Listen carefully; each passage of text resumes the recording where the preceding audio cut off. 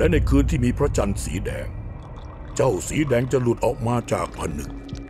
และออกตามหาอีกครึ่งของตัวมันด้วยการเหยียบหินที่ถูกวางเรียงอยู่เจ็ดก้อน ตลอดเจ็ดคืนเหมือนกับในอดีตการเขาแจ้งว่าทุกศพมีรอยเหมือนรูโบที่กระโหลกศีรษะสำนักหมอดูเหรอเราจับผีอยู่แล้วไงจับผีเลย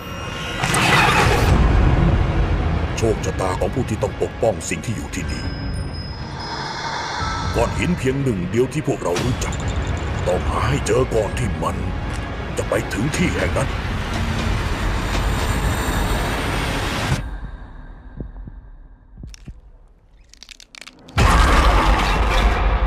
ที่ผมเห็นคืออะไรกันแน่ครับ และพระองค์ก็มีเพียงผู้ปกป้องเท่านั้นที่เปิดได้ จะต้องกำจัดสิ่งที่มันต้องการ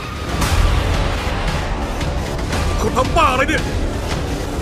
เจ้าสีดำและเจ้าสีแดงที่ไร้รูปทรงนี้ หากมันเจอกันและเป็นหนึ่งเดียวกันอีกครั้งนายคิดว่าโลกนี้จะเป็นยังไงล่ะ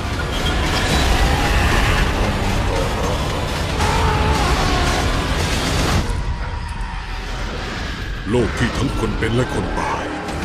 ต่างใช้ชีวิต อย่างโกรธเคืองและสิ้นหวัง